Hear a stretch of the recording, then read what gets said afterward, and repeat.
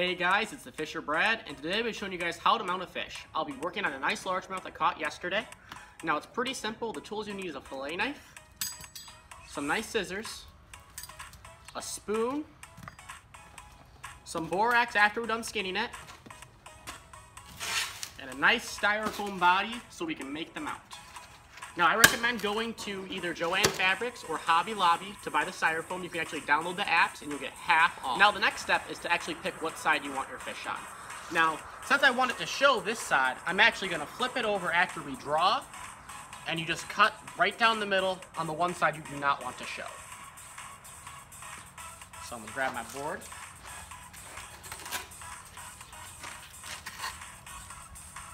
The fish.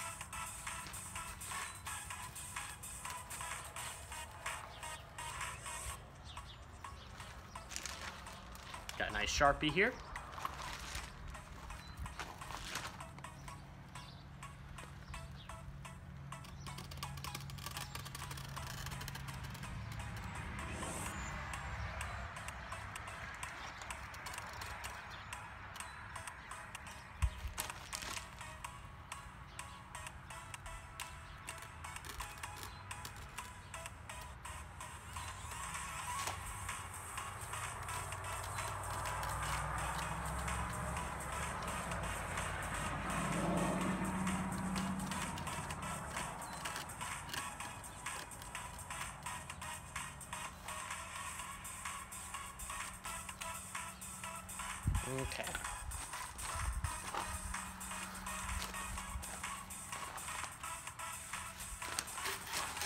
As you can tell, I drew it out.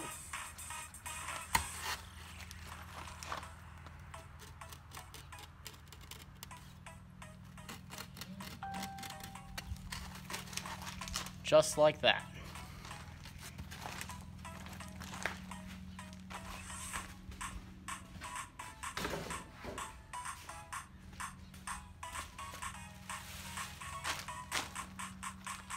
putting the nice bass on the board. Now, like I said, I want this side to show right here, so I'll actually flip it over. All right, guys, the first step is you want to make an incision about right here. Just poke a hole in it. Just enough to get your scissors in. Take your scissors, all the way down the middle.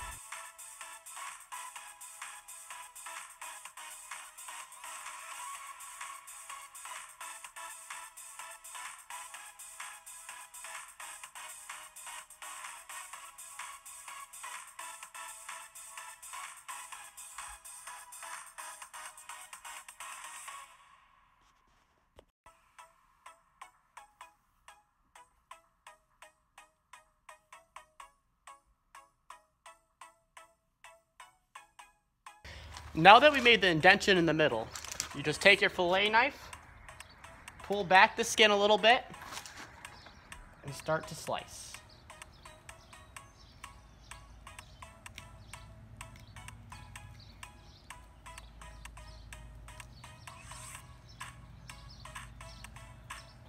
And slowly pull back.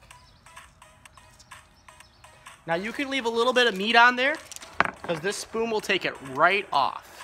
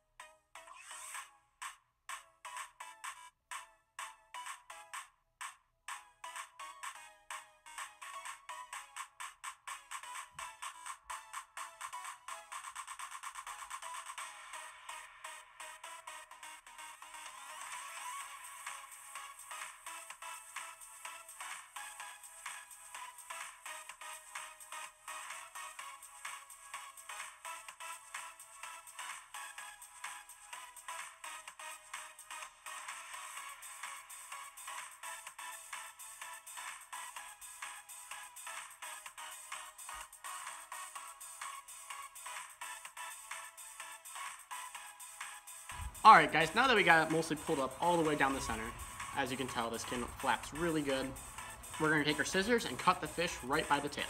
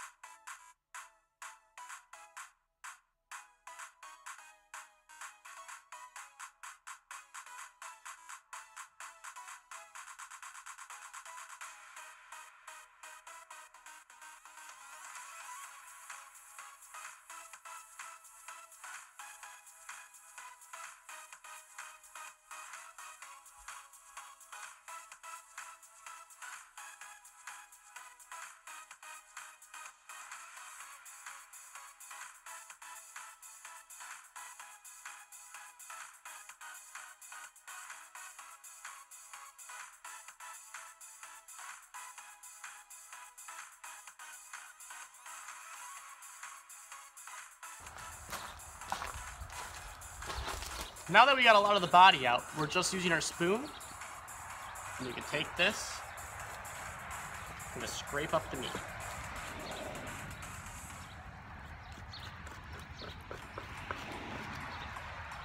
And it'll come right off, just like that.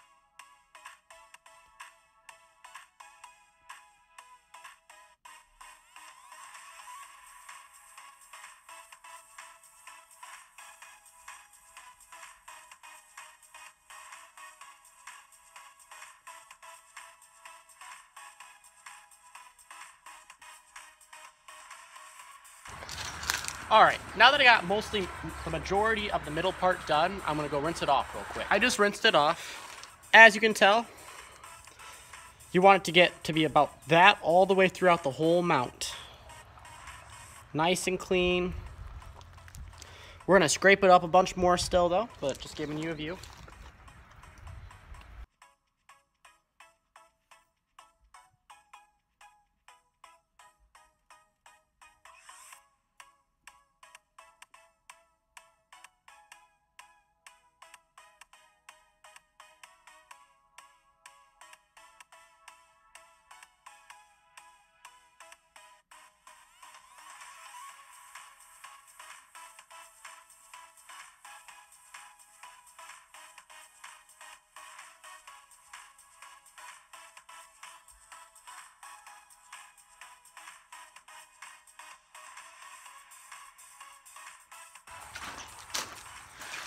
All right, guys, when you're working on the fence, right here, obviously a largemouth bass has a really big dorsal fin.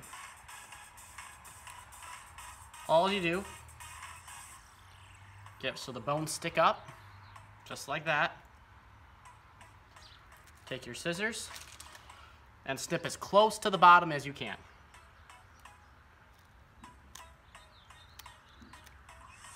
Just like that, guys. The bones bag.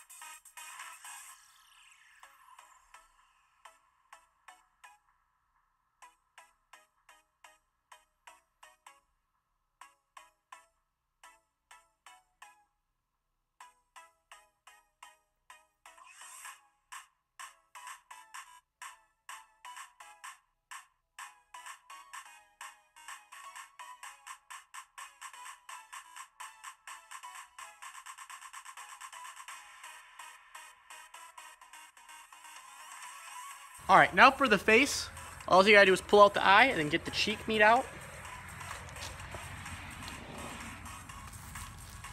Take our scissors.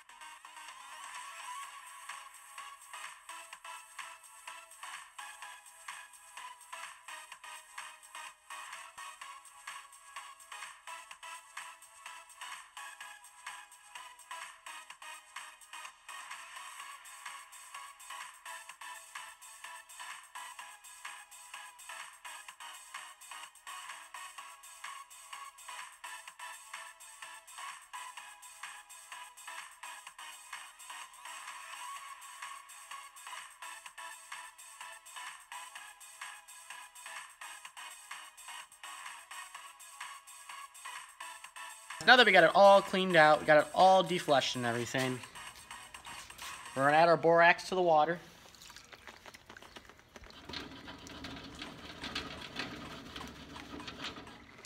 You add about two cups.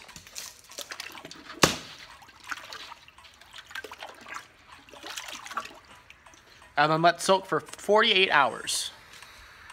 Now that the fish is all done, we already put it in for 48 hours, we're gonna make the body now. So we're just gonna use a basic knife and cut out what we drew first to start off with.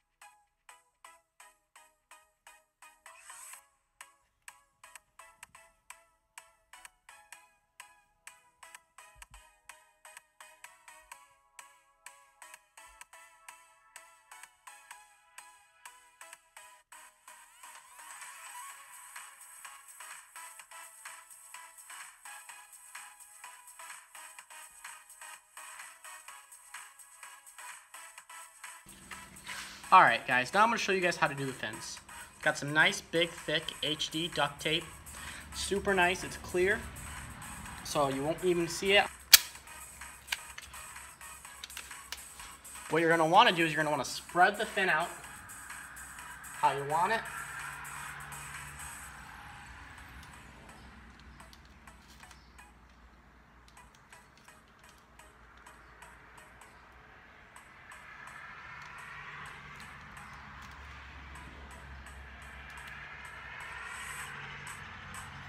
Just like that.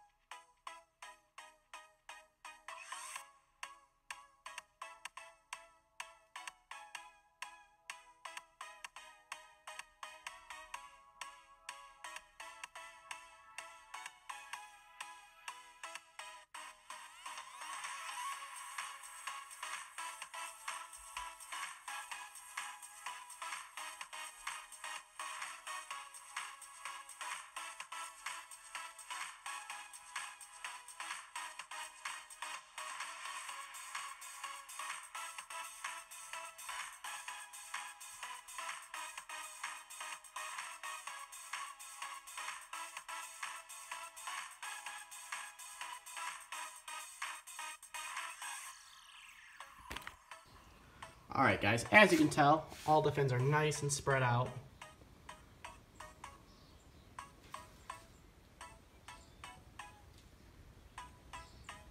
And that's exactly how you want to do it.